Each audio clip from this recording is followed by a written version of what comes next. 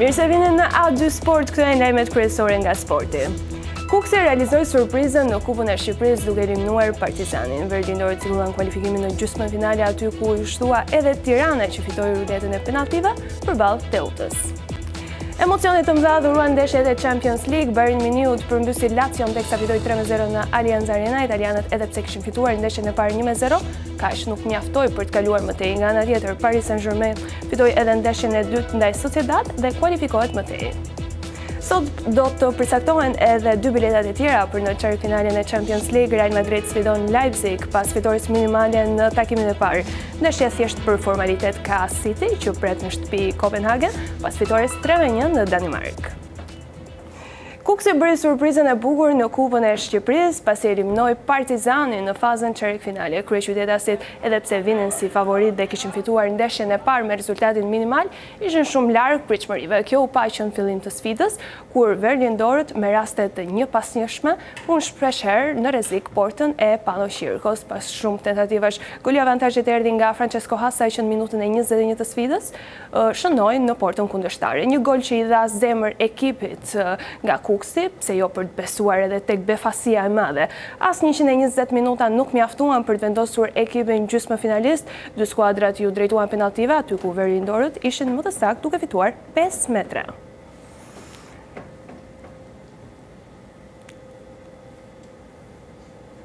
Dhe për të analizuar edhe më shumë këtë ndeshje, do të kemi futbolistin e Kukësit, Mario Beshiraj. Mario, fillimisht shumë urime, një kualifikim në fakt që në këtë moment që ndodhet Kukësi i jep zemër shumë skuadrës edhe për ecurinë në vazhdimësi të këtij sezoni. E prisni diçka të tillë? Shumë faleminderit për ftesën një herë. Në fakt, të them drejtën, kemi kohë që presim një rezultat pozitiv dhe na vjen mjaft mirë që ky rezultat pozitiv na erdhi në ndeshjen me Partizanin dhe një kualifikim mjaft i rëndësishëm në gjysmëfinale. Kështu që ishte e pritshme dhe shpresoj që ta kemi ta kemi thyer atë atë të keqen. Vazhdojmë të ecim përpara. Kjo ishte ndeshja e tretë përballë Partizanit në harkun e një muaji. Çfarë ndryshoi tek skuadra e Kukësit që arriti që të fitonte më në fund përballë rivalëve të kuq? Atëherë shorti na përballi në Kupë me Partizanin, por qëlloi që ndeshja të ishte edhe ndeshja e kampionatit, kështu që patëm kohë ta njihnim mirë, ta studionim mirë kundërshtarin dhe pse jo të bënim edhe surprizën. Dhe ia dolët më së miri, jeni mes katër skuadrave më të mira në Kupën e Shqipërisë. Megjithatë, nëse do të kthehemi në anën tjetër në kampionatin, situata mbetet pak e vështirë. Si duket atmosfera brenda ekipit? A ka presion tek djemtë? Të them të drejtën, presioni, presioni është, pavarësisht se trajneri është munduar që ta mbajë presionin për vete, të paktën presionin që ka ardhur nga nga humbjet në vazhdimësi që kanë ardhur. Por Kukësi është në pozitë të vështirë, është e fundit në tabelën e klasifikimit. Mendoj dhe besoj që vetëm një mrekulli mund të mund të na shpëtojë, por ne do të tentojmë mrekullinë. Ju do të tentoni mrekullinë, megjithatë a beson skuadra se kjo mund të arrihet, duke qenë se kanë mbetur dhe pak ndeshje? Atëherë, kanë mbetur në bazë llogarive të mia, kanë mbetur dhe dhjetë ndeshje, janë 30 pikë në lojë, Matematika na e lejon, kështu që do t'i marrim ndeshjet një nga një dhe pse jo, ta tentojmë, ta tentojmë deri në fund, sepse i kemi i kemi forcat, e kemi fuqinë, djemtë janë, stafi është, besimi është gjithashtu dhe mbetet për t'u parë. Cilësia nuk mungon në fakt tek skuadra e Kukësit, është një ekip i ndërtuar me djem të rinj. Çfarë e diferencon Kukësin, çfarë mund ta diferencojë nga rivalët direktë që sheh për mbijetesë? Atëherë, të them të drejtën, Kukësi që kur filloi faza përgatitore u ndërtu me djem të rinj, me djem që kanë dëshirë, me djem që duan të tregojnë veten, me djem, me disa nga djem që luajnë për herë të parë në Superligë. Por siç dihet, sporti nuk, ose më saktë futbolli, nuk mund të luhet dot pa dëshirë dhe pa grintë. Dhe, përveç cilësive që ju e theksuat, mendoj që ajo që na favorizon më shumë është edhe nervi apo grinta që çunat kanë. Çfarë i duhet më shumë kësaj skuadre për t'u ringritur, të themi? Të them të drejtën na duhen shumë gjëra, sepse çalojmë në disa në disa situata, në disa momente, por në qofë se do analizosh shumicën e ndeshjeve, kemi kemi gabuar për për për kemi bërë domethënë gabime të vogla, jemi ndëshkuar për gabime të vogla ose më saktë për gabime individuale. Nuk është se Kuksi është dominuar nga nga nga mhm ekipet, qoftë ato edhe ekipet që janë në katërshen e parë të klasifikimit. Kështu që do do do shikohet, do shikohet në vazhdimësi. Kë shihni ju si rival direkt, duke qenë se dhe diferenca mes skuadras, qoftë dhe ato që synojnë top 4-shën, është shumë e vogël me ato që synojnë mbijetesën, ëh? Domethënë është çdo gjë e mundur në futbollin shqiptar. Shumë e vërtetë, ky kampionat është i paparashikueshëm. rival tani nuk mund të nuk mund të them një rival konkret, por un un po edhe çuna shohim vetëm pikët, diferencat e pikëve, sa larg jemi. Ë jemi plus 11 nga Laçi besoj dhe plus 8 plus 7 pikë nga Teuta. Ë kemi një ndeshje vendimtare me Laçin tani, shpresoj që ta ngushtojmë diferencën Dhe pastaj në fazë të katërt të të shikojmë, të bëjmë më mirë. Dhe meqënëse jemi edhe tek rivalët direkt në kampionat, rikthehemi edhe një herë tek Kupa e Shqipërisë. Janë përcaktuar deri më tani tre nga katër skuadra që do të shkojnë në gjysmëfinale të Kupës së Shqipërisë. A keni ju një rival të preferuar të themi? Atëherë në qoftë se në qoftë se unë do isha tek vazot, do zgjidhja Tiranën.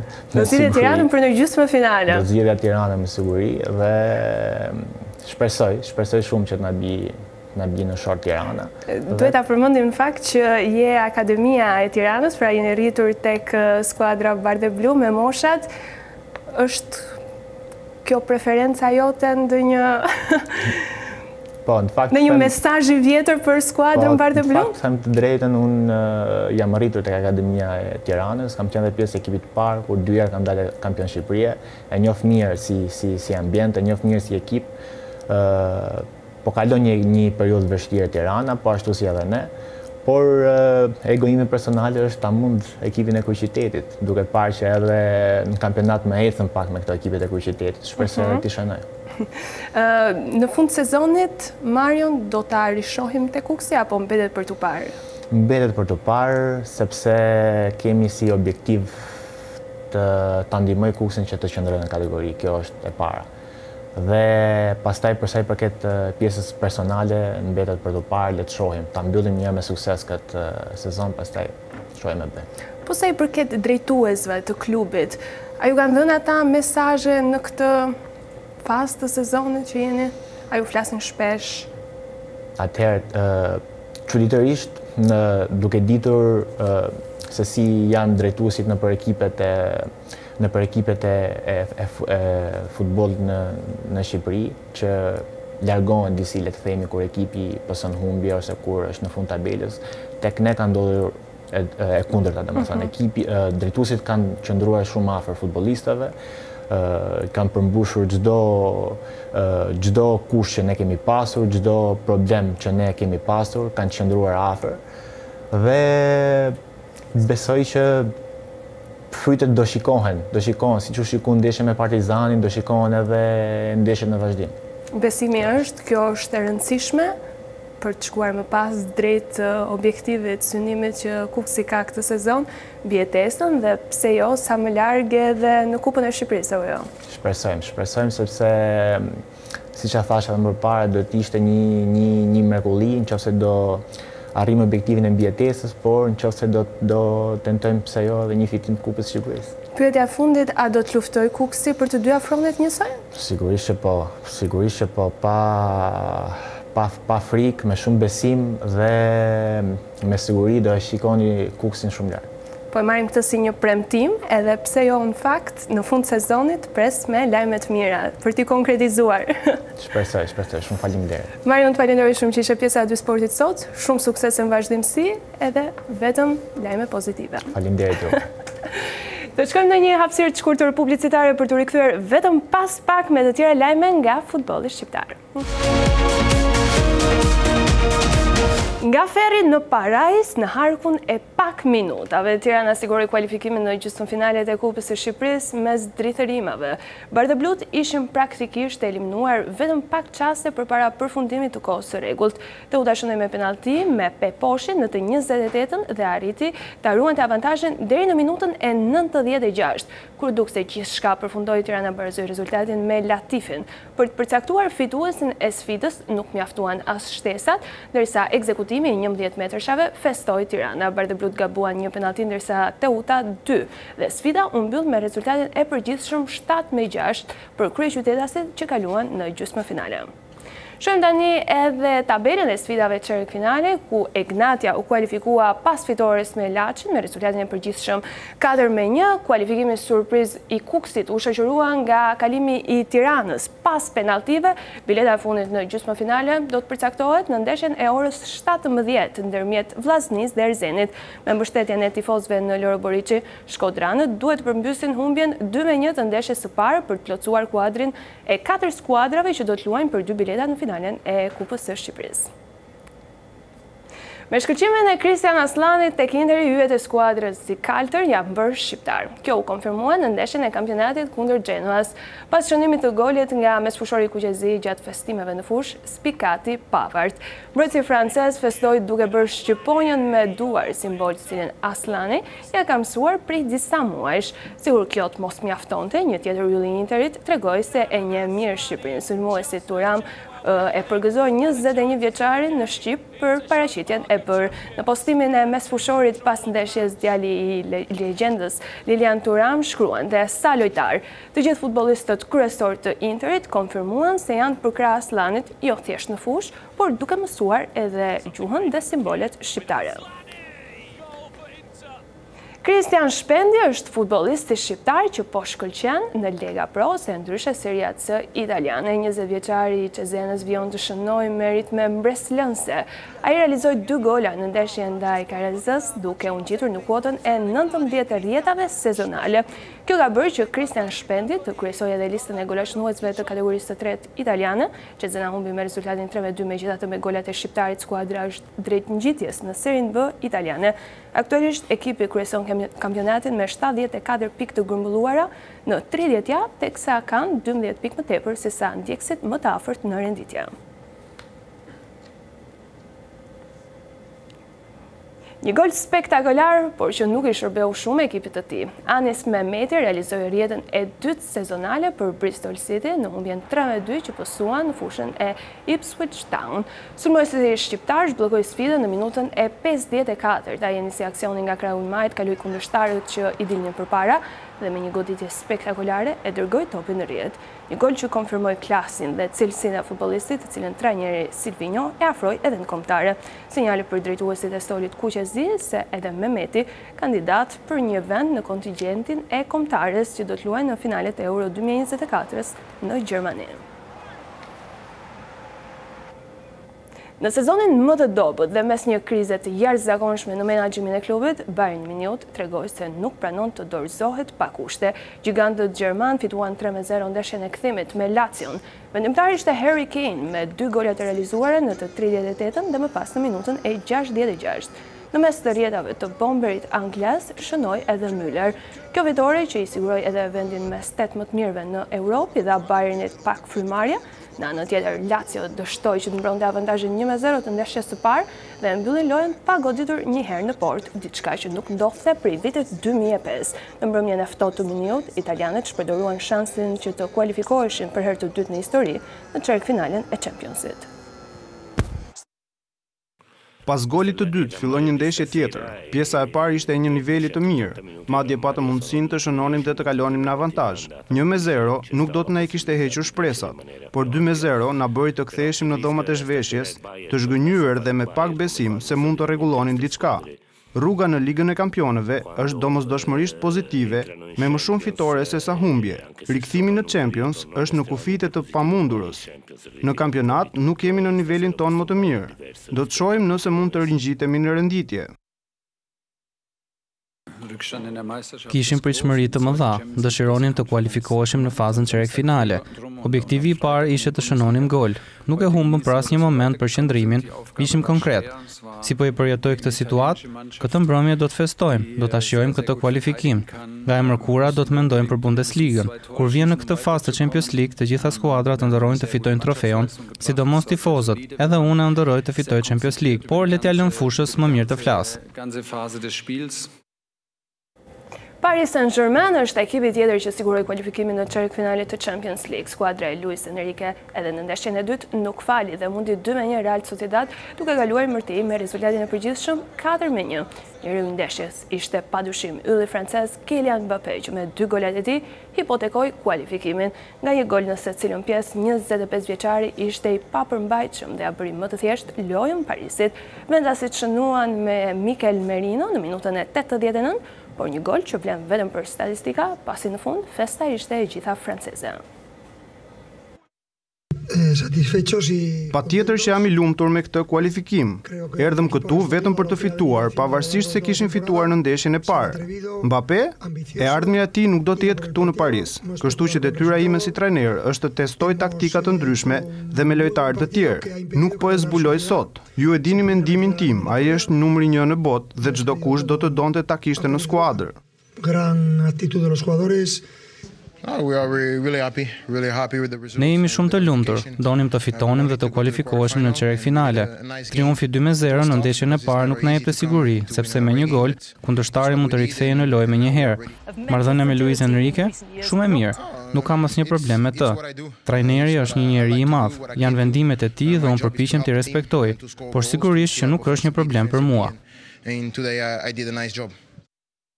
Kylian Mbappe është padyshim një prej futbollistëve më të shpejtë në qarkullim. Në ndeshjen e Championsit ku Paris Saint-Germain fitoi përballë Real Sociedad, Njëzet e pesë vjeçari shpalosi më së miri aftësinë për të lënë mbrapa kundërshtarët. Në vrapimin për të përshkruar njëqind metër fushë, Mbappe regjistroi kohën dhjetë pikë nëntë sekonda. Matja u realizua nga televizioni bbc, duke treguar se Mbappe iu afrua rekordit ikonik të Usain Bolt. Legjenda xhamaikane mban rekordin botëror në kohën nëntë pikë pesëdhjetë e tetë sekonda në garat e njëqind metrave. Këtë të mërkurë do të mësohen edhe dy ekipe të tjera që do të presin një biletë për në çerekfinalen e Champions League. Thjesht për formalitet është sfida mes Manchester City dhe Kopenhagen në stadiumin Etihad. Qytetarët kanë fituar 3 me 1 në ndeshjen e parë dhe duelin në shtëpi mund ta kenë një test edhe për lojtarët e rinj në skuadër që nuk kanë marrë shumë minuta këtë edicion. I vetmi që mungon tek kampionët në fuqi është Grealish, i dëmtuar, ndërsa në dyshim është Gvardiol. Tek danezët nuk paraqitet e njëjta situatë, pasi sikur të mos mjaftonte disfata në ndeshjen e parë, kanë edhe një mal me mungesa. Takimi luhet sot në orën njëzet e një.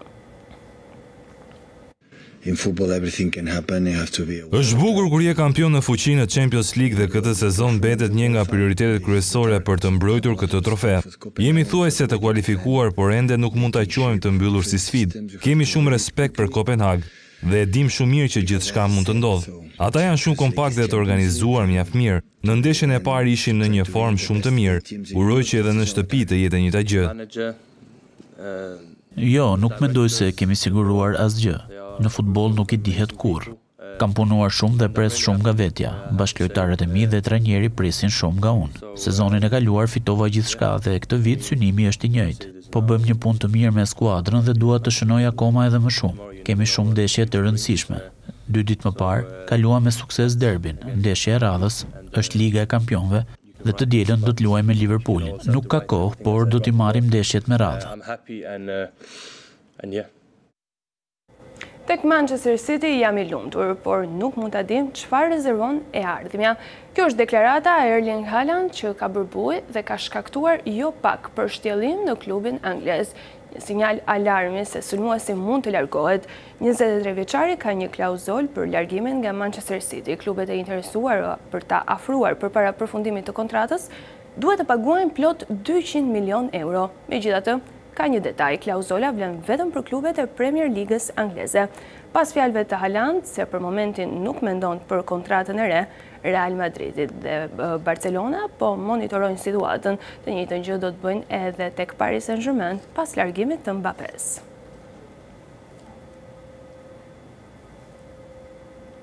Skuadra më e madhe në botë dhe që ka fituar numrin rekord të katërmbëdhjetë trofeeve të Champions League kërkon të konfirmohet si e tillë. Real Madridi pret në Santiago Bernabeu gjermanët e Leipzig për ndeshjen e kthimit. Los Blancos fituan sfidën e parë me rezultatin një me zero Falë golit të shkëlqyer të Brahim Diaz, edhe këto nëntëdhjetë minuta pritet të jenë mjaft të balancuara dhe skuadra e Ancelottit duhet të bëjë kujdes të mos u lejojë kundërshtarëve hapësira, sepse në ndeshjen e parë Leipzigu arriti që të godiste nëntë herë portën. Reali kërkon të shfrytëzojë këtë ndeshje për të hedhur pas shpine barazimin zhgënjyes në kampionat me Valencian, ndeshje që u mbyll mes polemikave pasi arbitri mbylli lojën ndërsa madrilenët po sulmonin dhe madje arritën që të dërgonin topin në rrjetë për herë të tretë.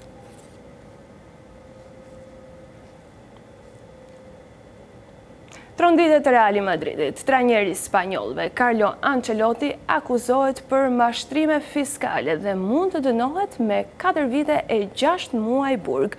Kanë qenë vetë mediat spanjolle që kanë lëshuar bombën për italianin, ndërsa nga vetë trajneri nuk ka ende një reagim zyrtar. Siç raportohet, Ancelotti akuzohet se ka fshehur më shumë se një milion euro dhe ky mashtrim fiskal ka ndodhur në periudhën dy mijë e katërmbëdhjetë dy mijë e pesëmbëdhjetë në aventurën e parë të italianit në krye të Real Madrid. Paratë e fshehura nuk kanë të bëjnë me pagën e trajnerit, por me të drejtën e imazhit që Ancelotti ua ka lënë ta menaxhojnë disa kompani fantazëm sipas prokurorisë. Një lajm që vjen vetëm pak orë përpara se skuadra madrilene të zbresë në fushë ndaj Leipzig.